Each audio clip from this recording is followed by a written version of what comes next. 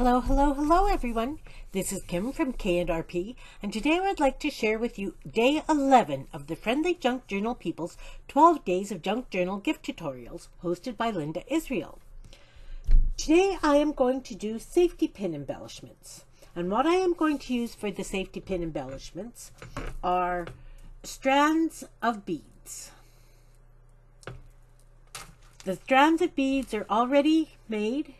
Um, I have them ready because I use these to make dangly earrings because I love long earrings. I figure if you're going to put jewelry on, you better go big or go home. So I have these wonderful little batches of strung beads. I have a multitude of little safety pins. My girlfriend does a lot of secondhand store shopping and always finds me the greatest little bits and pieces. I have lots and lots of these little safety pins. I am going to use some jump rings and I am going to use some coiled wire. This coiled wire is what I use to hold the um, threads together. I'm not sure if you can see that very well. It, it's just uh, like if you were wrapping a tassel, I just use wire instead of string. The way I make this is I put a piece of my uh, wrapping wire in the chuck of a drill along with a nail and then I turn the drill on very slowly and the wire wraps around the nail and I get these tubes of wrapped wire. So I have some ones already cut. So how I do this is I take an old piece of wire and I take the three stand, strands of the beads. The string that these are on come from a craft called Bunka it's uh, Japanese thread painting. I used to sell the kits and I have lots and lots of this thread left over. It's very slippery. It doesn't hold knots very well. Um, so after you've tied the knot, it's a good idea to put a bit of glue on to hold it. Also test your beads to see if they're going to come off. If they are coming off, add glue. So I have this folded piece of wire and I just bring the three strands of strung beads to the center point. Then I take the little coil of wire. I use three wraps of it. And I just pull that down onto the doubled strands of beads like you would if you were making a tassel.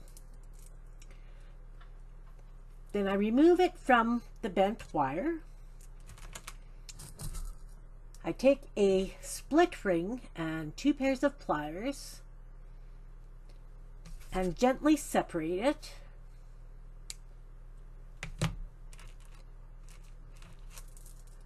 I put the strands, the three doubled strands onto the split ring. Oh, didn't take a safety pin out. Sorry, a little behind here. Now I can't open the bag for the safety pins.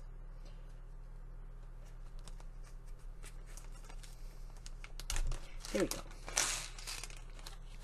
These safety pins are three quarters of an inch long, so they are more decorative than anything.